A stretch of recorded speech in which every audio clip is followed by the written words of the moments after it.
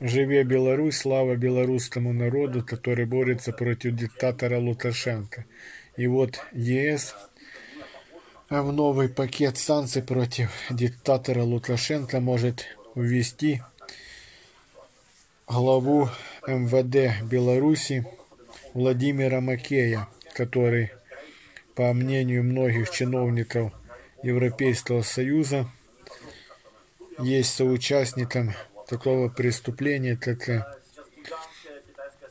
содействие нелегальным иммигрантам, которые заполонили Польшу, Литву и другие страны Европейского Союза.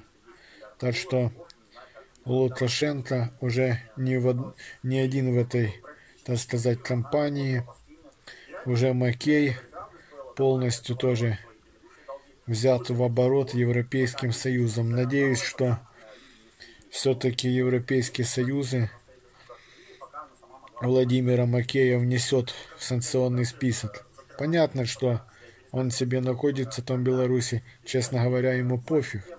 Но все-таки это не пофиг для режима.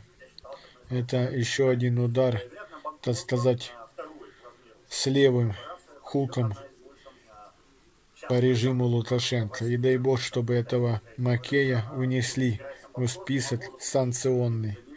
Живе Беларусь! Слава белорусскому народу!